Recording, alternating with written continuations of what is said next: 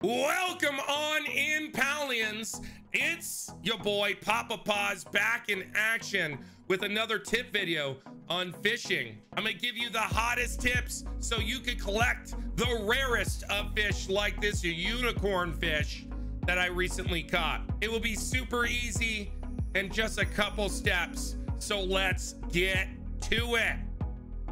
This is an easy step. It's just knowing what worms and locations get you specific fish. If you need a quick guide on this, I will have a link below with a full detailed guide on every fish every location and which worm you need to get those specific fish. Once you've decided which fish you wanted to hunt, go to that specific location, cast out your rod and start fishing. So the trick is easy. You're gonna throw out your rod, wait for a fish to bite, and once it bites, identify the fish. If it is a fish you do not have, reel that sucker in. If it is one that you do have, just let it go. Reel in your rod, and you will not lose a single worm in the process. Recast it and repeat these steps until you see the rare fish you need. Yes, this trick is not overly complicated, but it will save you so much time